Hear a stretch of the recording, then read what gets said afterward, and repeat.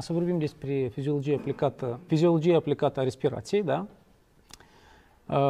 Deci, în primul și în primul rând, dacă definim ce înseamnă respirație, deci respirația reprezintă totalitatea proceselor fizice și chimice care se petrec în organismul uman, prin care noi consumăm oxigenul și eliberăm dioxidul de carbon.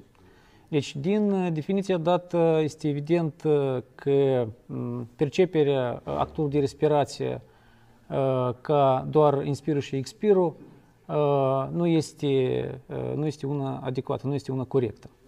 Și în acest sens, aici vedeți toate etapele respirației, da? și anume ventilație pulmonară, difuziunea bioxidului de carbon și oxigenului, transportul gazelor prin sânge, schimbul de gaze la nivel periferic și ultimul, ultima etapă, etapă de respirație. Deci, din toate aceste etape reiese, da, din, din aceasta reiese că dacă apare careva, oricare problemă la oricare din aceste etape, apare insuficiență respiratorie și noi trebuie să intervenim cu instru, instrument adecvat. În afară de aceasta, important de menționat și uh, importanța plămânilor pentru, uh, și pentru alte funcții. Deci, funcția primară schimbul de gaze, da, evident, toată lumea cunoaște că avem problemă cu funcțiile secundare. Deci aici, primul și în primul rând, este vorba de funcția protectivă, deci este vorba de funcția plămânilor care constă între cei că aproape 90% din particule mici sunt reținute la nivel pulmonar. Este vorba de filtrare, deci sângele care trece prin plămâni se filtrează, deci aici se implică și altă funcție, funcție fibrinolitică și anticoagulantă. În afară de aceasta, plămânii sunt implicați în, în, într-un șir de metabolisme, precum metabolismul proteinilor, lipidelor, metabolismul apei. Este o sursă, este o metodă prin care noi putem introduce diferite substanțe medicamentoase. În afară de aceasta, sistemul pulmonar face parte din sistemul excretor, exercită funcție hemodinamică și este implicată în metabolismul căldurii. Dacă noi vorbim de prima etapă, deci de, de respirație, de ventilație pulmonară, aici nu trebuie să luăm în calcul că sunt patru forțe care noi trebuie să depășim pentru a realiza un inspir eficient. Deci vorba de greutate cutiei toracice, este vorba de elasticitatea cartilajelor și plămânilor și este vorba de presiune de în cavitatea abdominală. Deci, atunci când noi facem contracție musculară, deci facem contracția mușchilor respectiv, uh, mușchilor inspiratorii, da? și uh, dacă facem un inspir liniștit, este vorba de diafragmă și mușchi intercostale externi, atunci noi combatem toate aceste forțe da, și inspirul nostru este un eficient. Deci în cazul în care uh, noi vorbim de, de, de respirație liniștită, evident că expirul este un uh, proces uh, pasiv. Uh, în același timp, dacă vorbim despre uh, respirație activă da, sau respirație forțată, da, inspirație, bineînțeles, și precum și expirație devin active, da, se includ mușchi adăugători, precum sternocleidomastoideus anterior serratis caleni, da, și mușchi, da, ideea, ideea că atunci când noi avem contracția musculaturii adiționale, noi în plus creștem volumul cutiei toracice.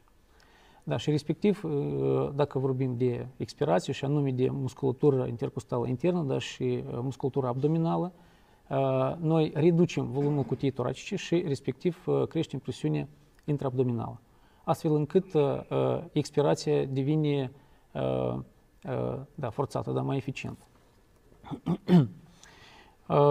Având mișcările excursie cutiei torace, inspirul și expirul, da, noi putem realiza respirația, dar aceasta nu este suficient, deoarece e foarte important să ținem cont și de presiunea pleurală. Deci, aceasta, în condiții normale, este una negativă, dacă vedeți aici pe schemă. Respectiv, presiunea alveolară este una egală cu 0, deoarece epiglotta este deschisă și spațiul alveolar contactează cu aerul atmosferic. și respectiv în condiții în care crește volumul cutiei toracice, se modifică presiunea pleurală, ea devine și mai mult, mai mult negativă, astfel încât uh, se uh, reduce și presiunea în spațiul alveolar, uh, se creează o presiune negativă uh, care determină uh, fluxul de aer din, spa, din spațiul, uh, din aerul atmosferic, da? din atmosferă uh, în spațiul alveolar. Deci această, uh, acest gradient uh, care apare e suficient pentru a produce un inspir adecvat.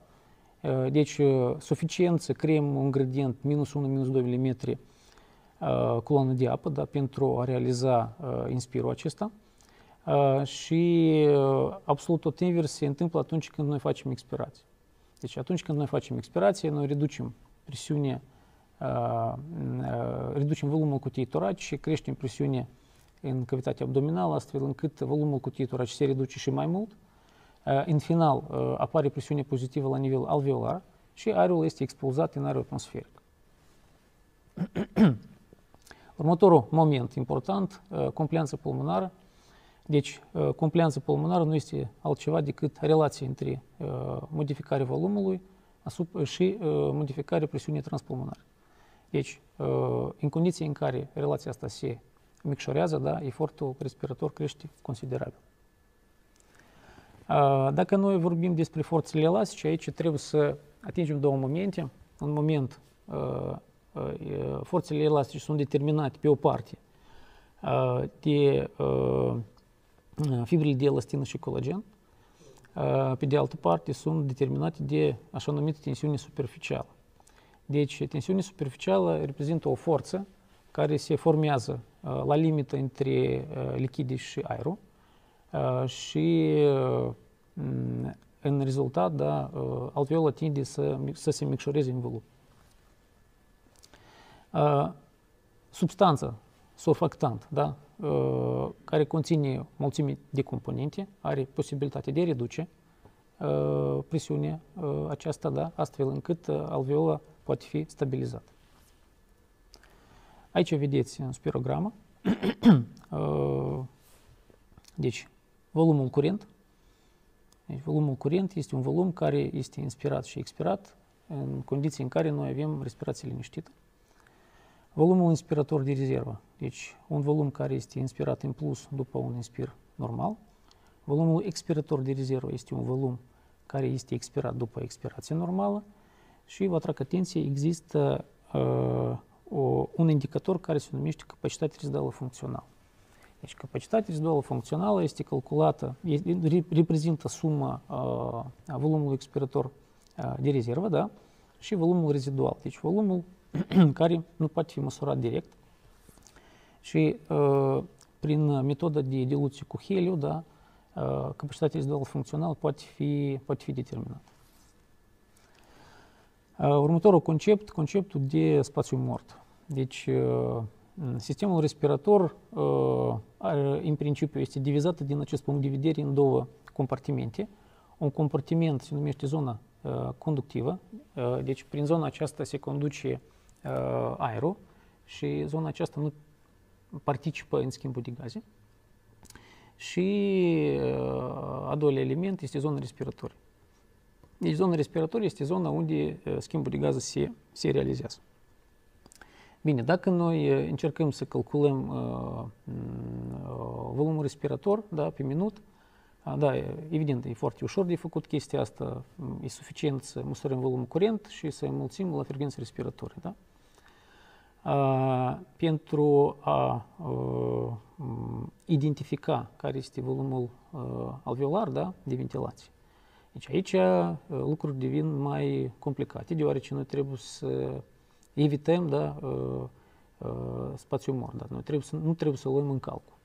Deci din cele 500 ml volumului curent, da, nu trebuie, noi trebuie să scadem în spațiu, spațiu mort și să mulțim pe frecvență respiratorie. Și de aici reiese că aerul inspirat, da, doar parțial participă în schimbul, schimbul de gaze. Aceasta este foarte important de luat în considerație, da? Deci, și de aici reiese faptul că mult mai avantajos de respirat mai rar și mai adânc. Da, dacă aici informație privind cum se calculează spațiul mort, dacă aveți un pacient relativ tânăr, fără patologii concomitente, deci spațiul mort este egal aproximativ cu masa lui ideală, înmulțită la 2 mm, 2 ml pe kilogram. Da. Deci, următoarea etapă de respirație este difuziunea oxigenului și bioxidului de carbon și aceste, acest moment da, depinde de, de cele patru factori, și anume de grosimea membranii suprafața membranii, coeficientul de difuziune a bioxidului de carbon și oxigenului și aici atrag, vă atrag, atrag atenție că totuși CO2 trece mult mai bine și Asta să vedem ulterior atunci când să analizăm presiunile parțiale, bioxidul de carbon și oxigenului. Uh, și, bineînțeles, uh, ultimul, da, nu, nu ultimul ca importanță, diferența de uh, presiunile parțiale pe ambele părți ale membranei respiratorii. Uh, deci, aici vedeți uh, cum se modifică uh, presiunea parțială a bioxidului de carbon și oxigenului. Vedeți că începând de la aerul, aerul atmosferic, unde presiunea parțială este 159, oxigenul se reduce până la valori practic zero. Deci de aici, după toate licitațiile fizice, da, cunoaștem că un gaz se deplasează de la presiunea cea mai mare la presiunea cea mai mică, da, și evident că oxigenul aici este consumat. Și CO2 are un comportament opus. Deci, de la valorile cel mai mari, da, 46 mm culant de mercur la nivel de celule, se reduce până la 0,3 aer atmosferic. Deci, deci, concluzia, oxigenul intră și se consumă, CO2 se formează și se eliberează. Cam ce ne interesează atunci când noi monitorizăm funcția respiratorii. Deci, de fapt, ne interesează care este presiunea parțială a oxigenului și care este conținutul oxigenului în sângele arterial. A, și aici vedeți cam a, factorii ce determină acest, aceste componente. Deci, în primul și în primul rând, noi trebuie să luăm în calcul a, care este fluxul de oxigen și care este presiunea parțială oxigenului în aerul inspirat. A doilea moment, care este volumul aerului inspirat. A treilea moment, care este presiunea parțială oxigenului în spațiul alveolar. Și uh, un element foarte important, probabil că toate aceste parametri sunt adecvate, dar dacă perfuzia este modificată sau dacă presiunea parțială a oxigenului în sângele venos sau cantitatea de oxigen în sângele venos este, sunt reduse, da? Aceasta de asemenea poate afecta uh, presiunea parțială în sângele arterial și uh, cantitatea de oxigen. Aici nu, noi nu trebuie să, să, facem, să punem semnul egalitate între presiune parțială și conținutul, deoarece atunci când noi estimăm presiunea parțială oxigenului, noi vorbim doar despre cantitatea de oxigen care este dizolvată în plasma sanguină. Atunci noi, când noi vorbim despre cantitatea de oxigen, Э, noi vorbim despre mm, uh, difracția asta de dizolvată în sânge, da, în plasma sanguină și fracția de oxigen care este combinată cu hemoglobină. Deci uh, a doua fracție, mm, cum dați seama, este mult mai mare. Deci o să vorbim asta, despre aceasta mult mai, mai, mai târziu. TAC. Uh, care sunt cauzele de hipoximie? Deci, limitarea difuziunii, hipoventilație, situația atunci când presiunea parțială a oxigenului este redusă, situația atunci când avem unitățile unde relația ventilație-perfuzie este redusă și aici avem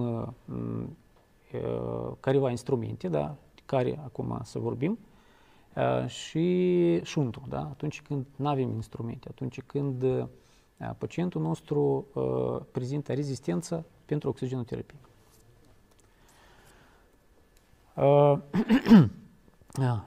Aici este un exemplu, da, cam cum funcționează, cum lucrează sistemul pulmonar în condiții în care noi avem unități cu uh, relația ventilație-perfuzie redusă. Uitați-vă, avem o alveolă absolut normală și avem alveolă unde ventilație-perfuzie 0,1. Deci avem obstrucție parțială. Deci vine o cantitate absolut adecvată de sânge, da, dar ventilația alveolei este redusă. Aceasta cauzează că presiunea parțială în alveolă este, se reduce până la 45, da? Și, în principiu, atunci când noi estimăm uh, presiunea parțială oxigenului și respectiv cantitatea oxigenului în, uh, în sângele arterial, noi, uh, în principiu, estimăm uh, uh, sângele mixt. Deci, sângele care a fost oxigenat normal, adecvat, și sângele care a fost oxigenat în astfel de alveol. Uh, evident, aici noi avem un instrument, instrument eficient. Noi am dat oxigenul, prin asta creștem presiunea parțială oxigenului în spațiu alveolar și astfel uh, cât de cât compensăm uh, reducerea cantității de oxigen care vine din alveola dată. Mai mult decât atât, există și mecanismul de vazoconstricție. În cazul în care alveola nu este perfuzată, nu este, perfuz, nu este ventilată adecvat, da? se face așa numită vazoconstricție, astfel încât noi uh, reducem uh, cota de uh, cantitate de sânge care vine din astfel de alveol. Uh, și a doilea moment despre care a fost, care a fost menționat uh, vorba de șunt, deci în aceste situații uh, alveola nu este ventilată, în același timp este perfuzată și în principiu uh, se amestecă sângele venos cu sângele arterial. Și asta reduce dramatic presiunea parțială oxigenului și cantitatea oxigenului în sângele arterial. Dacă, cum considerați, dacă dăm aici oxigen, a schimbat asta ceva? Nu, nu. Desigur, nu schimbă absolut nimic și da, deja e vorba de lucru anesteziologilor, da, de a, de a se gândi, da, ce facem noi cu șunturile respective. Deci următor, următoarea etapă a respirației este transportul de gaze prin sânge. Deci 98 de 98% de sânge care apare în ventriculul stâng, deci este sânge arterial și în afară de acesta avem șunt, șunt fiziologic, deoarece și sângele pulmonar are nevoie de supliment de oxigen și substanțe nutritive. Asta trebuie să ținem cont, da? ce ține de transportul oxigenului 97% în formă cu hemoglobină, legată cu hemoglobină și doar 3% este transportată prin plasma sanguină. Aici vedeți o curbă care se numește uh, curbă de disociere, asociere a hemoglobinii. Deci este o curbă care arată um, care este afinitatea hemoglobinii față de oxigen. Deci, uh, cam uh, ce înseamnă asta din punct de vedere practic. Uh, e foarte uh, scump de asigurat o circulație maximală pentru fiecare țesut. Și datorită faptului că hemoglobina este foarte mobil, are posibilitatea de a schimba afinitatea sa față de oxigen, noi selectiv avem posibilitatea să cedăm oxigen acolo unde, într-adevăr, acest oxigen este necesar. Ce, am, ce eu am în vedere? Presupunem că noi avem un țesut care este activ. Deci țesutul, țesutul acesta fiind activ, eliberează cantitate foarte mare de dioxid de carbon, uh, eliberează ioni de hidrogen, eliberează 2-3 de fosfoglicerat, uh, eliberează, uh, crește temperatura sa. În final, hemoglobina primește un semnal că acest țesut, anume aici, da, uh, este metabolic activ. Și aceste uh, uh, factori menționați deplasează curba de disociere, asociere a hemoglobinii la dreapta. Deci, fiind deplasat la dreapta, hemoglobina, anume în zona dată, cedează oxigenul mult mai ușor. Și, respectiv, țesutul primește, obține oxigenul, mult mai mult oxigen decât un țesut care nu lucrează la moment actual. Dacă noi vorbim despre transportul bioxidului de carbon, aici menționăm doar că există trei forme.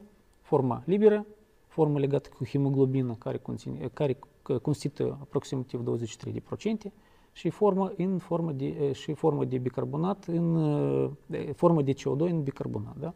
70%. Deci este un efect interesant cum este afectată afinitatea hemoglobinii față de, hemoglobinii față de CO2 independență de presiune parțială oxigenului. Deci, cu cât mai mare este presiunea parțială a oxigenului, cu atât afinitatea asta este mai mică. Deci, atunci când noi am transportat bioxidul de carbon la nivelul pulmonar și facem difuziunea gazelor la acest nivel. Deci, presiunea parțială oxigenului crește, se reduce afinitatea hemoglobinii față de CO2, CO2 este cedat și preluat oxigen. Dacă vorbim despre reglare respirație, aici da, toată lumea știe, asta este centrul respirator, care se află la nivelul bulbar. În ultimii ani s-a schimbat un pic conceptul, înainte era că, ea că este centrul de inspirație, centrul de inspirație, centrul de expirație. La momentul actual se consideră că noi avem în zona dorsală o porțiune a formațiunii reticulare care absolut spontan generează potențiale de acțiune care sunt transmise spre periferie, astfel noi avem uh, respirație, da? inspirație, în momentul în care uh, această rampă se oprește, uh, deci se oprește și, și, și respirația, avem un expir. Uh, celelalte componente sunt componente, da, într-adevăr, care participă în reglare, da? Uh, dacă vorbim separat despre porțiunea ventrală, este o componentă adițională care este implicat în condiții în care noi facem respirație forțată. Nu contează uh, fiind, uh, fiind asta uh, inspir sau expir. În general, dacă vorbim de controlul, aici vedem mai multe nivele. Este vorba de mădăvă spinării, de hipotalamus, de sistemul limbic, de, corp, de cortex. Da? Deci, în sensul larg al cuvântului, centrul respirator nu este ceva localizat într-un punct, da? deci este dispersat în diferite părți ale sistemului nervos central. Dacă vorbim despre reglarea, în primul și în primul rând aici noi trebuie să spunem despre importanța bioxidului de carbon. Deci bioxidul de carbon este factorul primar care determină driverul respirator, dar aici este un moment interesant CO2 direct nu activează centrul respirator. Problema, nu problema, mecanismul prin care noi controlăm centrul respirator prin presiune parțială bioxidului de carbon este convertirea acestuia în ioni de hidrogen. Deci CO2, apă, carbonhidrază, se formează acid carbonic care este scindat în hidrogen, ionii de hidrogen și bicarbonat și nemizlocit ionii de hidrogen deja activează centrul respirator. Da, important de menționat că în câteva zile, dacă presiunea parțială bioxidului de carbon nu se reduce, avem așa numită adaptare și punctul acesta punctul, punctul care consideră presiunea parțială normală este resetat, este în creștere și pentru astfel de pacienți noi trebuie să fim foarte atenți atunci când dăm un supliment cu oxigen. Și a doua component prin care noi controlăm respirația sunt chemoreceptorii periferici. Acestea sunt sensibili la modificările presiunii parțiale a oxigenului, dar Acestea sunt activate în condiții în care presiunea parțială a oxigenului este mai mică de 60 mm cu de mercur. Mulțumesc pentru atenție. Bună ziua, eu mă numesc Ruslan Baltaga, sunt conferențiar la Catedra Anestesiologiei Reanimatologiei numărul 1 Valeriu Gheric. Tema prezentării este echilibrul acidobazic. Nu am conflicte de interes de declarat cu această prezentare. Și înainte de a uh, trece propriu zis la uh, tema discutată, vreau să prezint un, uh, un mic istoric cum a apărut în medicină interpretarea echilibrului acidobazic. Ea a apărut odată cu declanșarea unei pandemii de pandemie de poliomielită și odată cu această pandemie a fost stabilit terapie intensivă ca și specialitate. În anii 50 ai secolului trecut, această pandemie afecta practic toate țările, dar în Copenhaga, în Danimarca, era în special situația foarte gravă și erau câteva probleme legate cu această pandemie. Spitalele nu aveau ventilatoare, dar dacă vorbim de ventilatoare, ele nu erau echipamentele care le cunoaștem noi astăzi cu presiune pozitivă, dar erau echipamente cu presiune negativă, așa numit plămâni de oțel sau de cuirasă, unde pacienții se plasau în interior și se crea o presiune negativă pentru ventilare. O altă problemă legată de gestiunea, gestionarea acestor pacienți era înțelegerea greșită a dereglărilor respiratorii și de echilibru acidobazic. Deci, într-un singur spital, în Blackdam, unde erau tratați pacienții, dar pacienții erau în special copii, la izbucnirea pandemiei, zilnic decedau pacienți și în spital a fost convocat o, un consiliu medical și au fost invitați directorul spitalului, șeful serviciului de boli interne, de laborator și a fost invitat și anesteziologul, deci ca să înțelegem, atunci anesteziologii lucrau exclusiv în sala de operații, nu aveau alte activități în altă parte. Anesteziolog era Björn Ibsen, care fusese în Statele Unite și cunoștea tehnologie de tracheostomă și ventilare cu presiune pozitivă și el a propus la, la acest consiliu ca la pacienții respectiv să fie aplicat această tehnică. Erau disperați toți, dar au acceptat ca el să aplice această tehnică la pacient. Ca rezultat a fost un succes și în continuare a fost luată această tehnică de tratament a pacienților cu poliomielită. Prima pacientă a fost o fetiță de 12 ani, Vivi Ebert, ea a fost prima salvată. Ulterior au fost implicați studenții mediciniști care manual, practic, ventilau toți pacienții.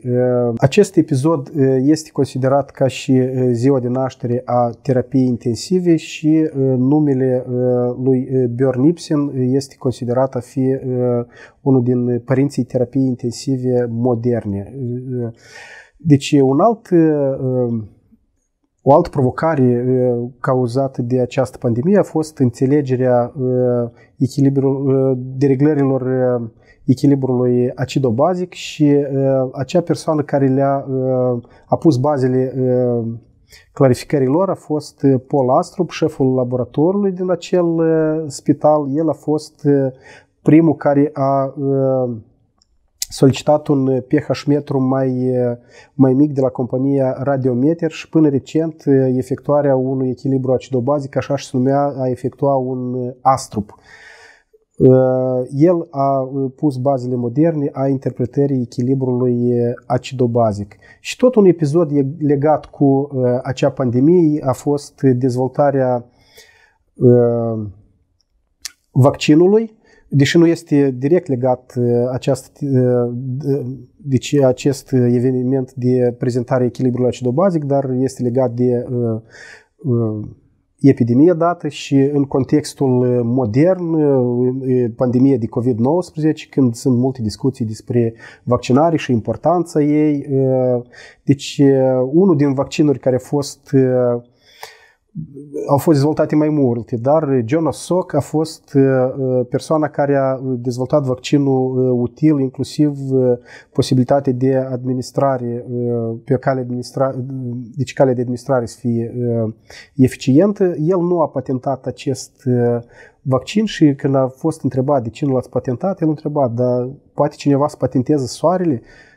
Ca urmare a vaccinării, boala dată noi o cunoaștem doar din cărți. Nu, nu avem cazuri de poliomielită și pandemia a fost eradicată. Deci, iată așa un exemplu care putem să-l utilizăm în convingerea celor care nu, nu doresc să se vaccineze. Și acum, revenind la tema echilibrului acidobazic, aparent echilibrul acidobazic ar părea uh, să fie ceva complicat, dar uh, dacă uh, evaluat sistematic, în esență, el deci poate fi reprezentat în felul următor. Deci esența lui e CO2 plus apă formează H2CO3, acidul carbonic, care disociază în ion de hidrogen și bicarbonat, HCO3, încărcător minus. Deci CO2, eliminarea lui sau reținerea este realizată prin plămâni, așa, desen aproximativ, și nivelul de hidrogen și bicarbonat este eliminat sau reținut prin rinichi.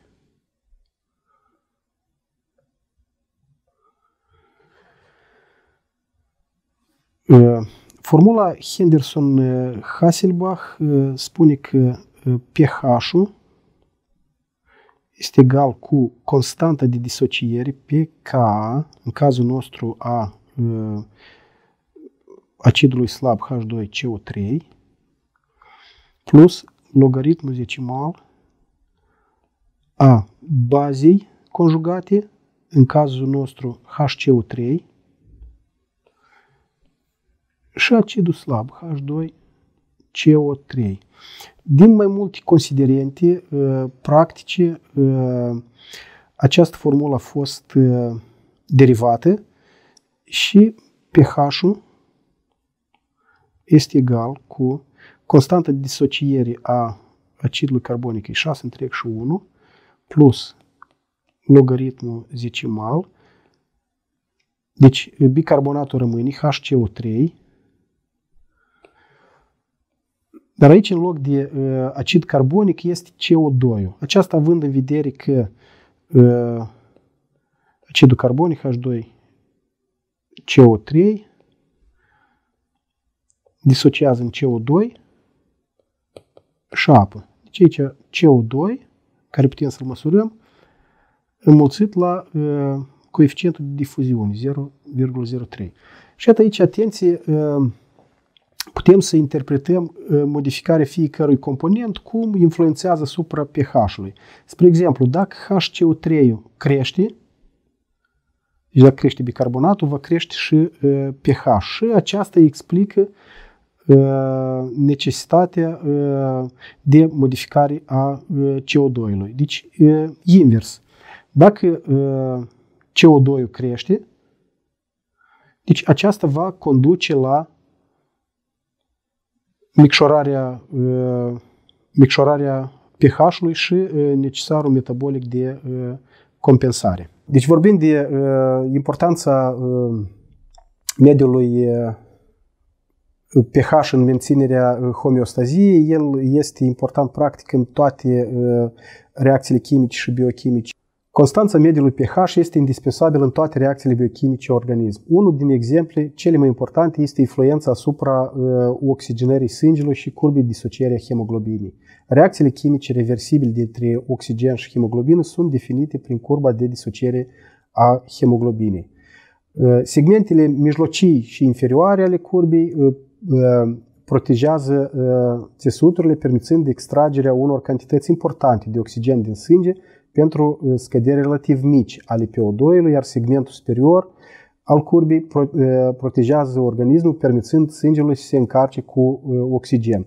Deplasarea la dreaptă scade afinitatea hemoglobinii către oxigen și trebuie presiune mai mare de oxigen pentru legare. Aceasta contribuie la eliberarea lui în țesuturi și deplasarea la stângă, din potrivă, sporește afinitatea oxigenului la hemoglobină și eliberarea lui mai greu. Aceasta are loc în plămâni, de fapt sunt niște mecanisme de adaptare. În plămân, hemoglobina să posede o afinitate mai mare față de oxigen și în țesuturi se poate să-l cedeze mai ușor.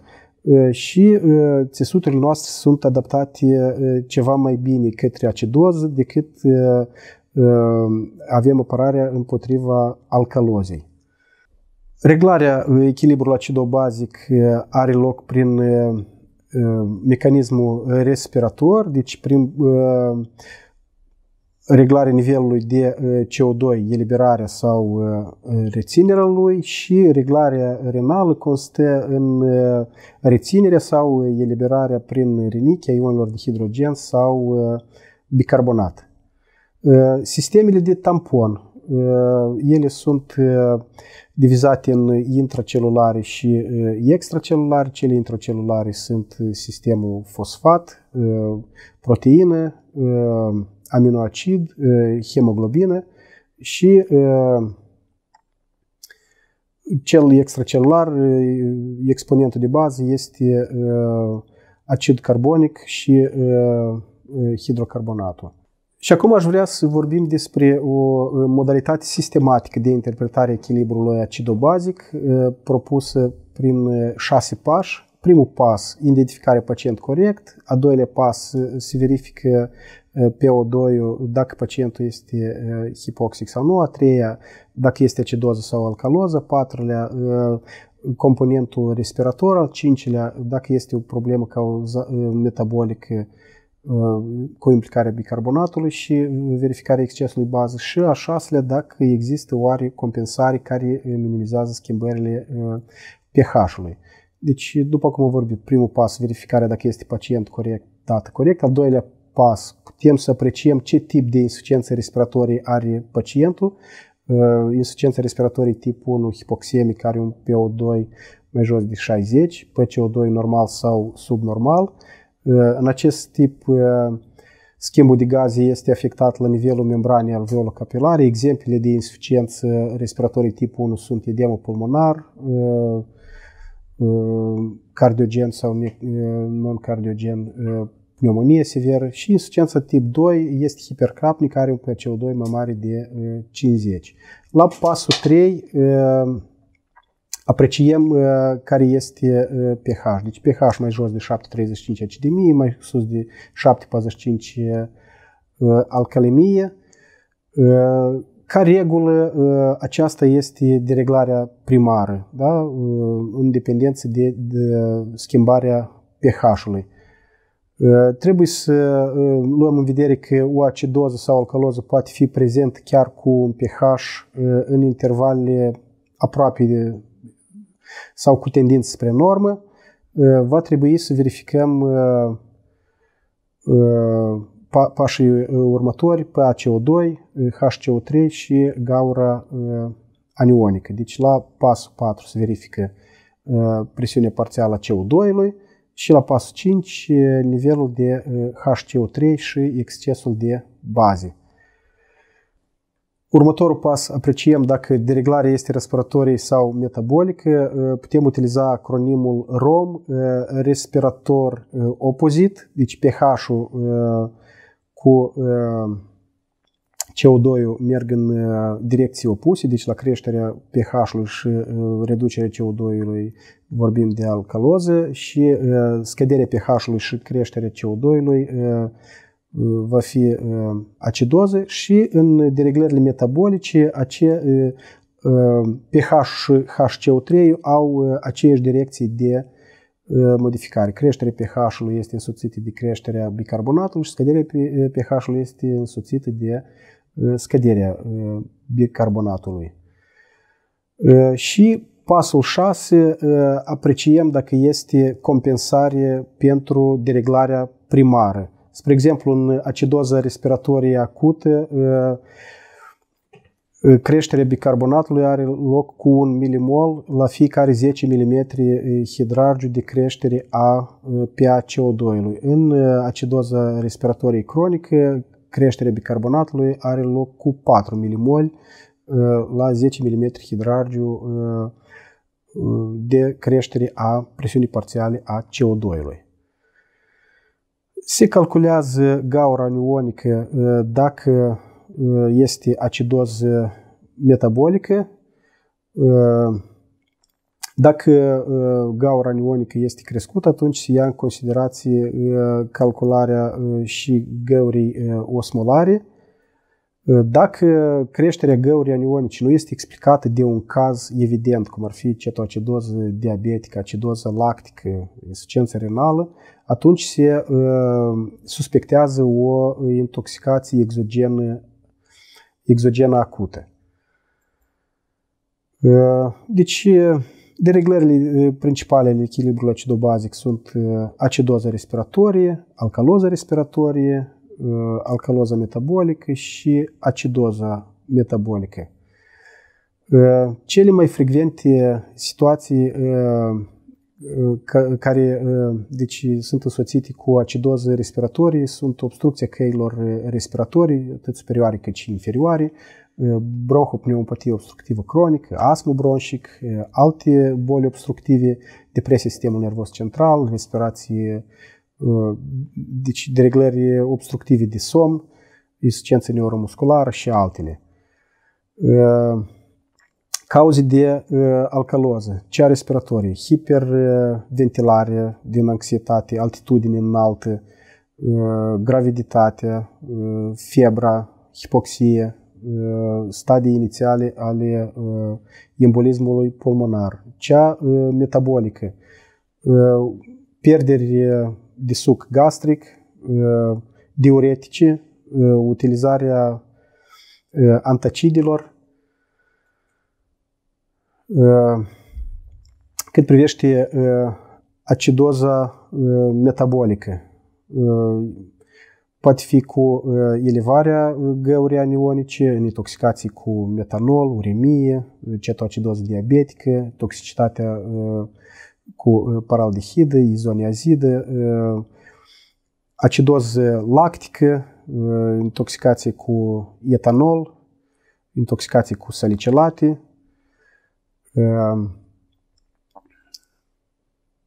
cu, de asemenea, acidoza metabolică poate fi cu gaură anionică normală în cazul pierderilor gastrointestinale de bicarbonat, în diaree, prezența iliostomiei, în colostomie proximală,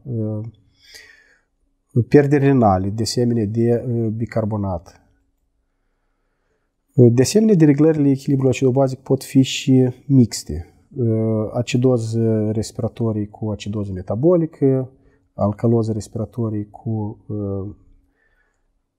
alcaloză metabolică și alte variante de dereglări mixte.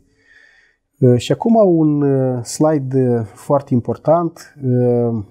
Deci, pe lângă parametrii echilibrului acidobazic, PO2, pH-ul, HCO3, un echilibru acidobazic ne poate furniza și alte informații utile în identificarea unui pacient care se agravează și putem să identificăm cauzele de un potențial stop cardiac. Deci, pentru sistematizare, cauzele care contribuie la, o, la un stop cardiac sunt divizate în H-uri și T-uri, deci hipoxia putem să apreciem dintr-un echilibru acidobazic, hipotermie nu putem, hipercalemie putem să apreciem, deci sunt date adiționale care sunt prezentate în majoritatea aparatelor moderne de echilibru acidobazic.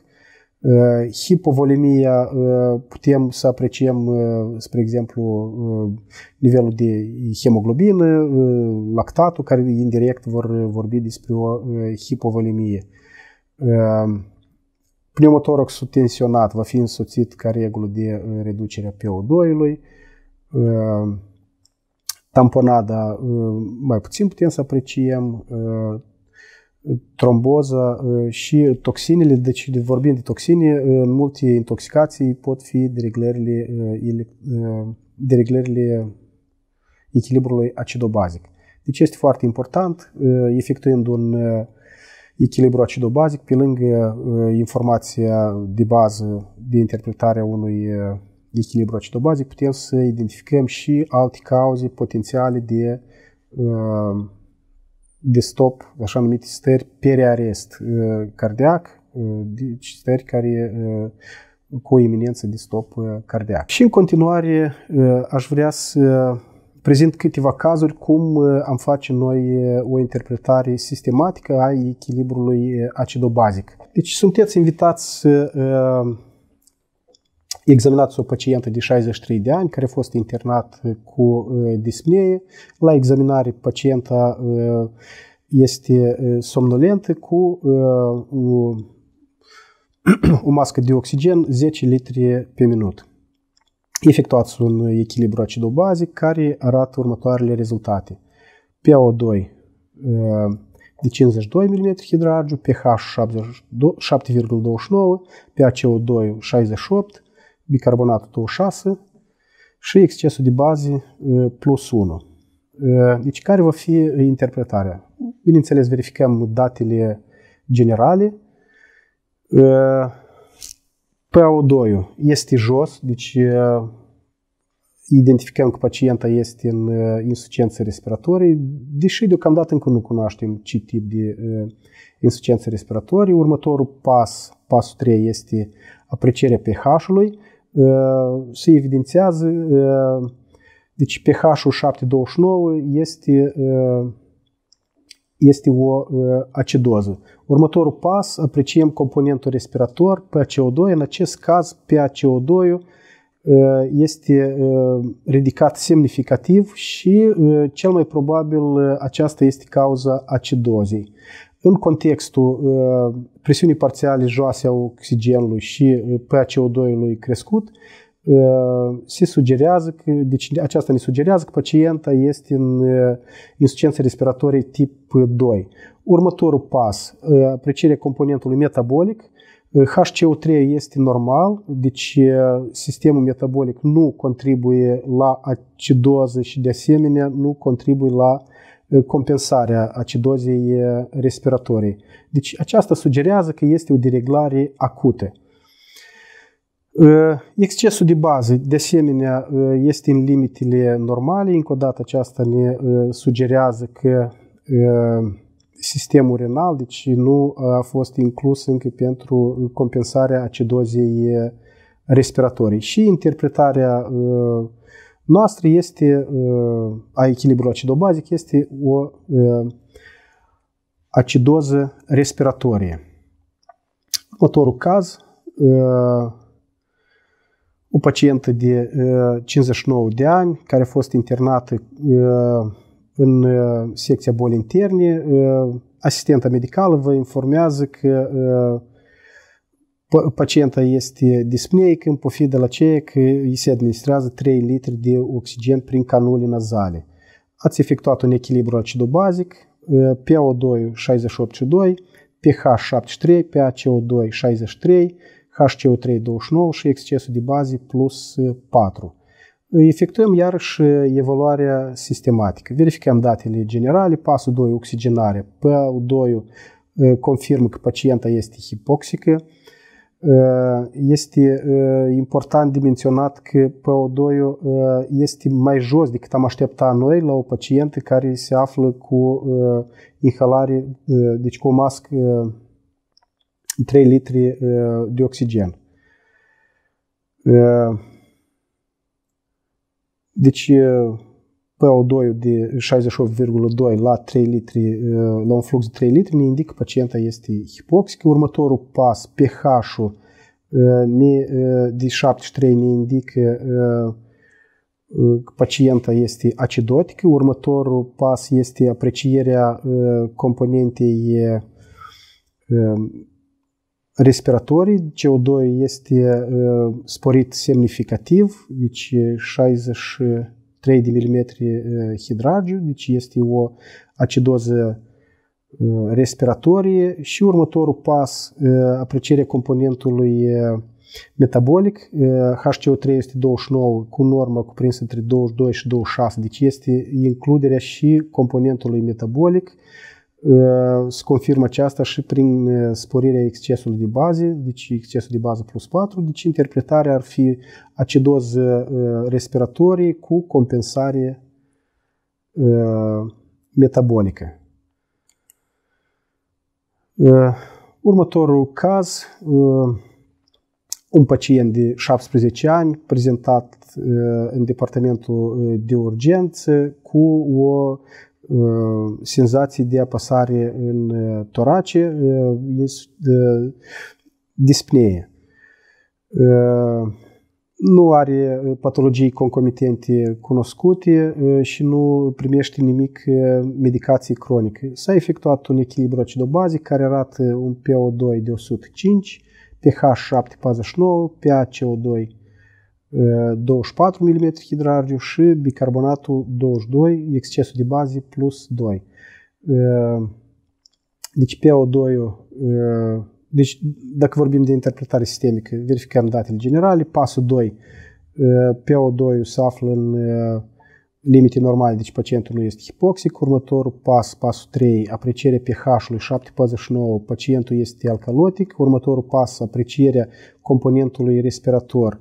CO2 este 24, deci este uh, jos, ceea ce uh, este, uh, deci explică alcaloza și este cea mai probabil cauză a acestei alcaloze, HCO3 deci la limita de jos al, al normei și excesul de bază este plus 2. Deci interpretarea ar fi o alcaloză respiratorie. Cu aceasta vreau să finalizez.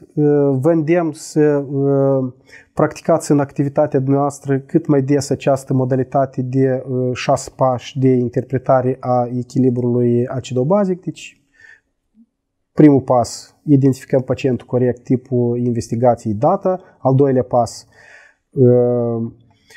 oxigen, oxigenarea. Pasul 3, care este de, dereglarea metabolică, deci verificăm pH-ul, următorul pas componentul respirator, apoi componentul metabolic și uh, compensare pentru dereglarea de bază a echilibrului acidobazic și un diagnostic echilibru acidobazic.